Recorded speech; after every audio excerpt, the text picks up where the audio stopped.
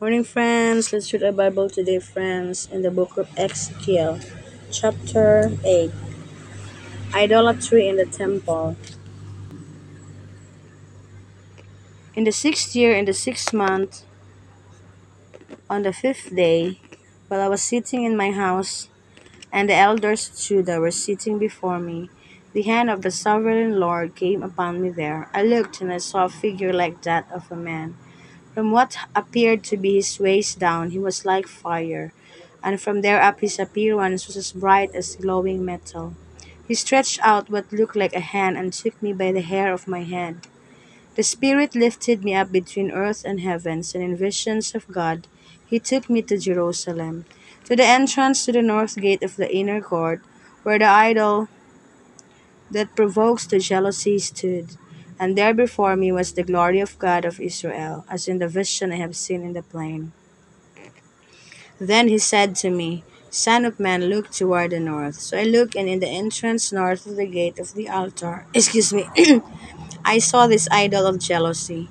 And he said to me, Son of man, do you see what they are doing? The utterly detestable things the house of Israel is doing here. Things that will drive me far from my sanctuary. But you will see things that are even more detestable.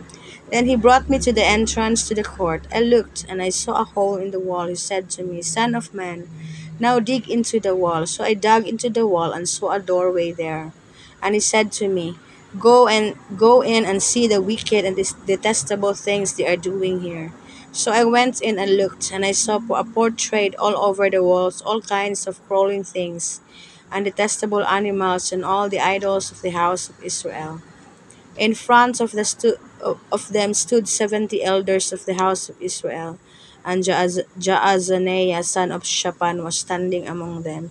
Each had a censer in his hand,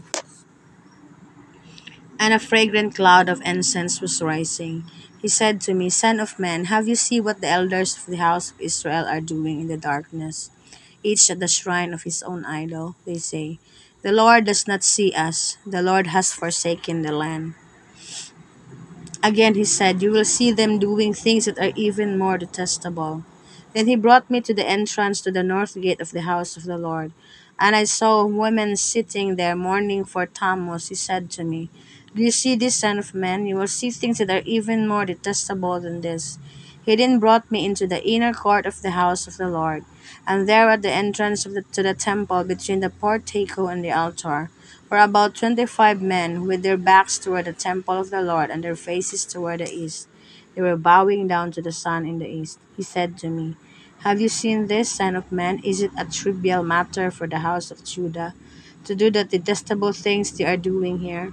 Must they also fill the land with violence and continually provoke me to anger? Look at them, putting the branch to their nose. There, therefore, I will deal with them in anger. I will not look on them with pity or spare them. Although they shout in my ears, I will not listen to them. So here, guys, um, Ezekiel had a personal encounter with the Lord. He saw the Lord, the God in heaven.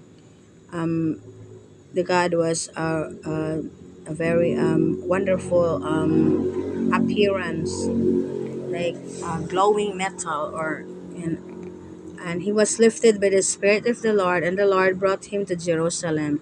And he showed Ezekiel that people are worshiping other gods rather than the Lord in heaven. So the Lord was very angry to them and, well, going to punish them according to what they have done because they forgot the Lord and worship um, animals or any kind of things that are not the God, the, the not the Lord in heaven they are worshiping.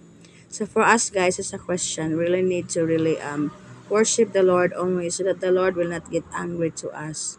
Um, give that give that give our time to the Lord rather than an, any other things which are materials or any kind of things in this world. Um, we need to give time to the Lord so that the Lord will not be angry to us. And also, we need only to worship the Lord in heaven, the God in heaven, the Lord God in heaven, and His Son Jesus Christ. So enjoy your journey with the Lord. Avoid worshiping other gods rather rather than the Lord. So um, stay faithful to your faith in the Lord and do not do not really worship other gods other than our Lord Jesus Christ and his Father God in heaven. Take care and good morning.